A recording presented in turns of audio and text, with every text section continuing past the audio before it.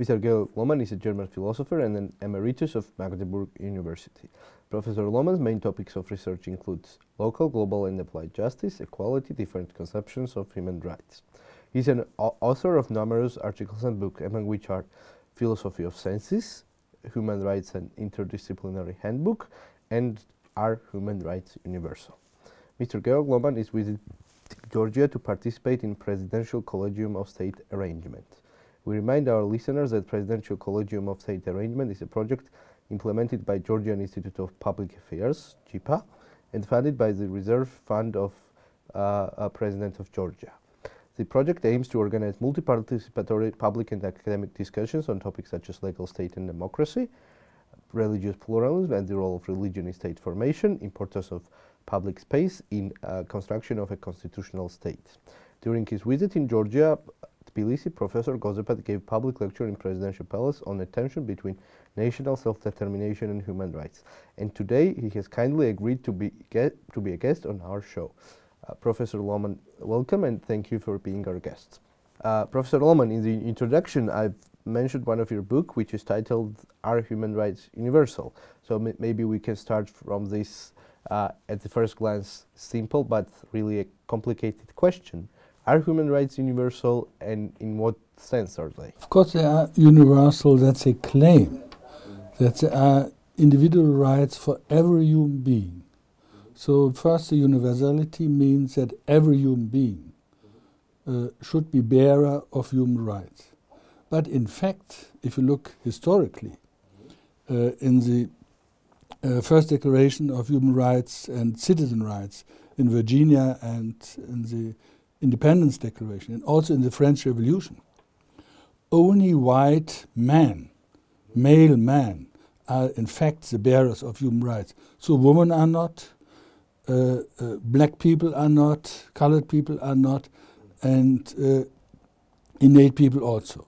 So there is a process of becoming a bearer of human rights, and so I think really understood and historically critical understood, Uh, it is meant that human rights should be universalized.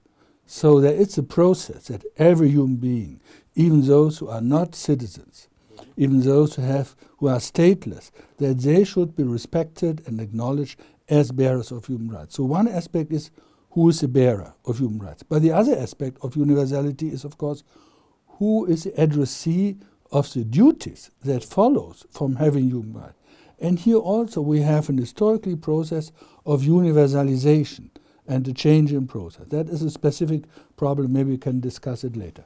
Professor, you mentioned a certain blind spot in the conception of human rights uh, in regards of the issue of stateless people and refugees. And this is a problem already mentioned by a notable uh, uh, German philosopher Hannah Arendt in the mid 20th century. So uh, on the one hand, the refugees are bearers of human rights, but on the other hand, there is no state that has a duty to protect those human rights. And you might agree that this issue is gaining significance today because of the whole refugee crisis that is going on in Europe right now. So uh, what do you think is a solution to this uh, uh, cri crisis from a human rights perspective? I think uh, we have, let's say, an historically learning process here. So in the first traditional declarations, in the end of the 19th century, this was not really the problem. So they think only citizens who uh, are uh, acceptable bearers of human rights. Although in the text, literally, they claim more. They say every human being, but in fact, only citizens are the bearers. So therefore, when it comes to a situation that somebody losing his citizenship or that he was not accepted as a regular citizen, he could not be accepted, and acknowledged as a regular bearer of human rights. Therefore, Hannah Arendt says all the refugees during the Second World War came in a very bad position because then when they claim, hey, I have human rights, people says, sorry, you are not an acceptable bearer. You have no right to have rights because you are not a citizen. Therefore, she says, human rights are just rubbish. That's rhetorical illusion. And I think there is something wrong in the uh, uh, uh, uh, interpretation of then later on a critic of human rights. But she is right in picking up this problem. And I think just to solve this problem, the Universal Declaration of Human Rights after the Second World War tries to uh, declare and lose, uh, look for solutions for this specific problem. Therefore, it said that every human being should be accepted as a subject before the law.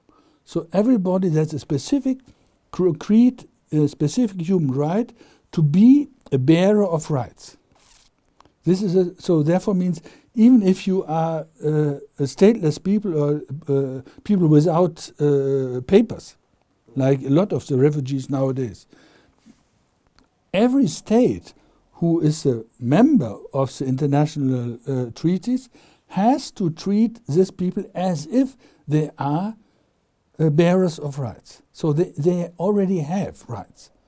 And now is the question why? That was, of course, a great question because state says, hey, in our tradition, because we are a sovereign state, we only accept those as bearers of rights we want to accept. So that means our citizen, sometimes citizen of other states, but only if it is in our interest, but not all people. So that's unbelievable for, in the tradition. And now the states agree that every human being should be uh, respected as a bearer of human rights. So that is a political decision. First, it is a political decision to do so. And it's binding only those states who take part in these treaties. But on the other hand, it is a legal form. And because it is a legal form now, there is, it becomes a tradition in the legal practice, and therefore it is also binding to nowadays those states who are not members of the international treaties.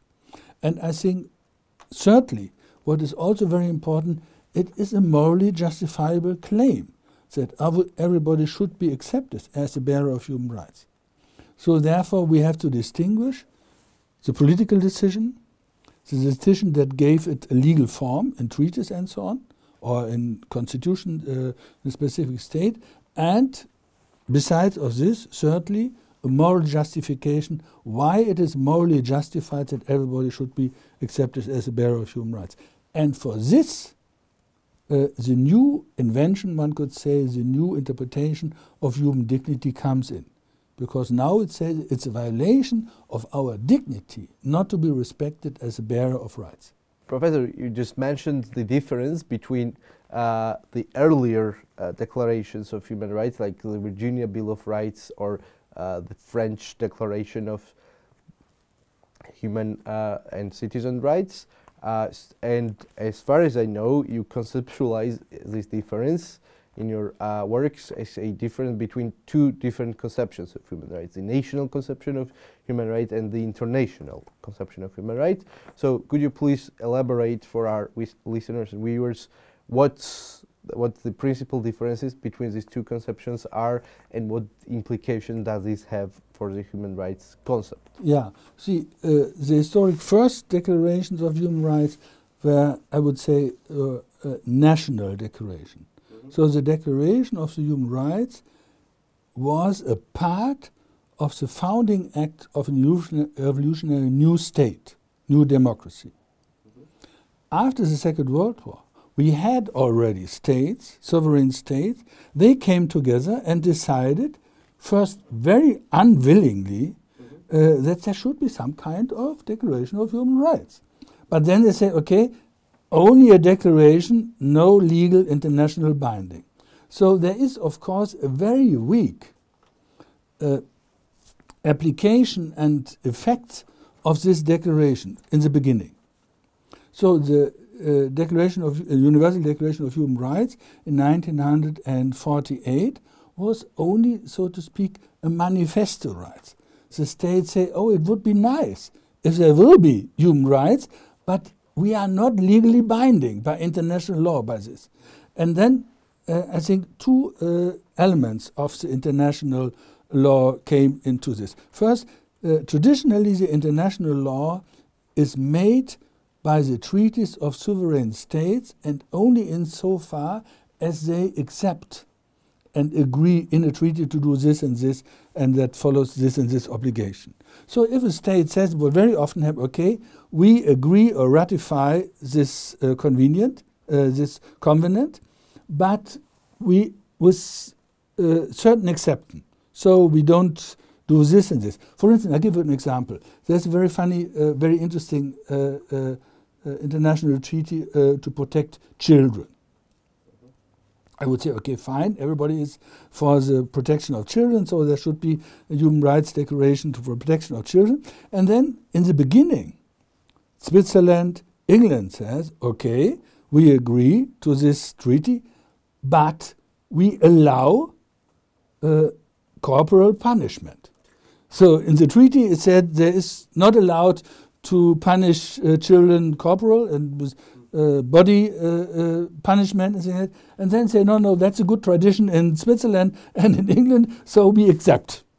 And then it takes 10 years uh, after they uh, uh, re-criticizing and re get a revision, and then, okay, we accept also that it's not allowed to make corporal punishment of children.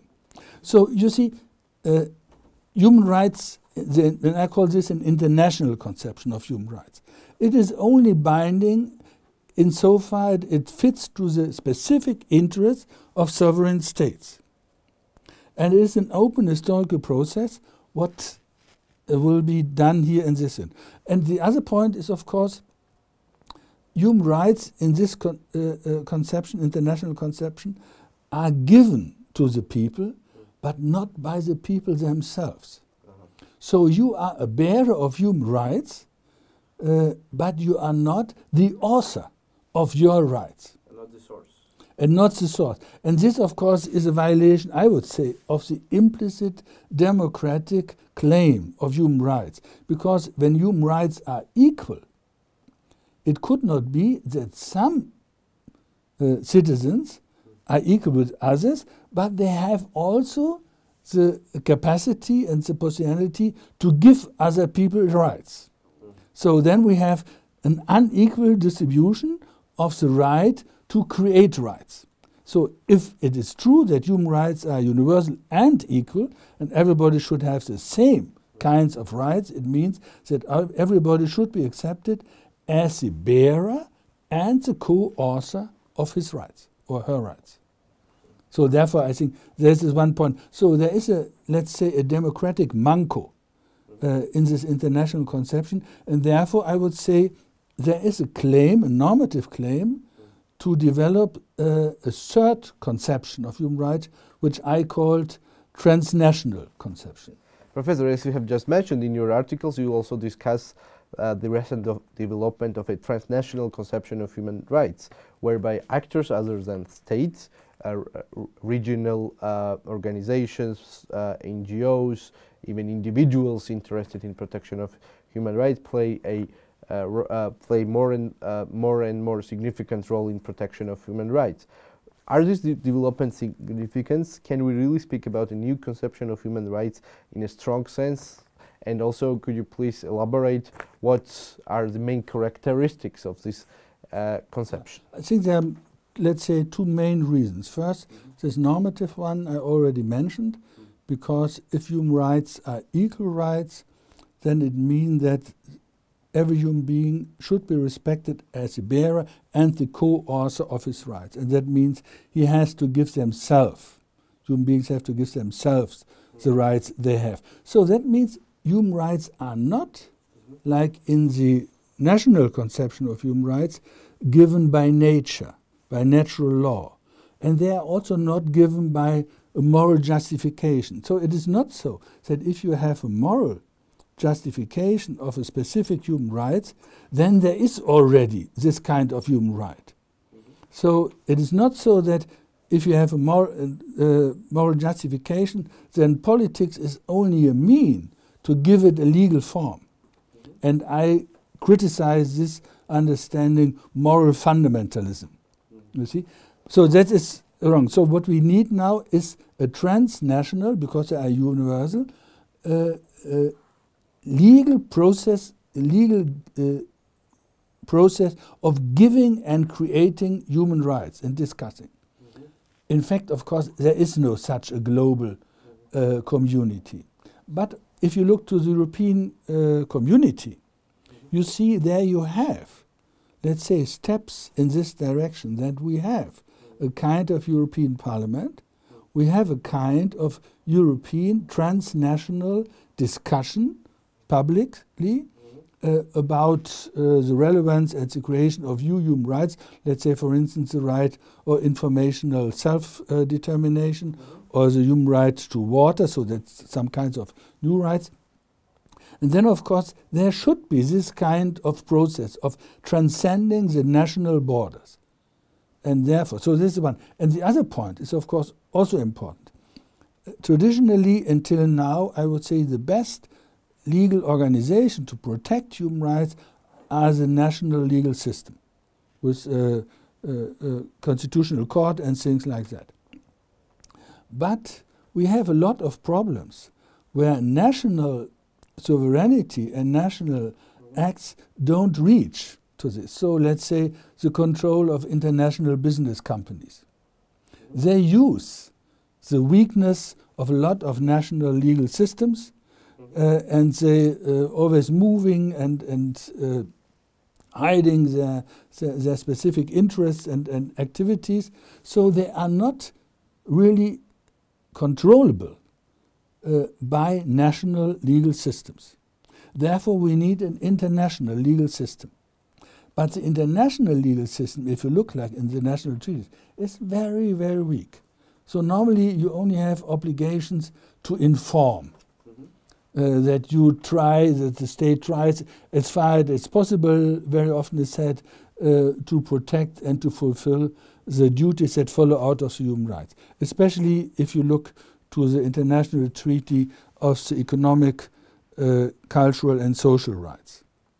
So therefore, to strengthen the international control and protection of human rights, we need a better international uh, uh, organization and then, of course, we have a lot of uh, different proposals. Uh, constitutionalization of the international law, like Habermas has said.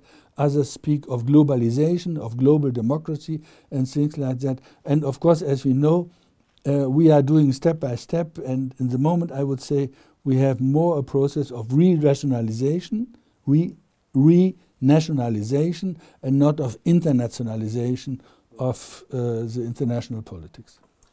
Uh, Mr. Lohmann, thank you for uh, being our guest. It was a pleasure. Uh, this was an interview with, with Mr. Georg Lohmann, an emeritus of Magdeburg University.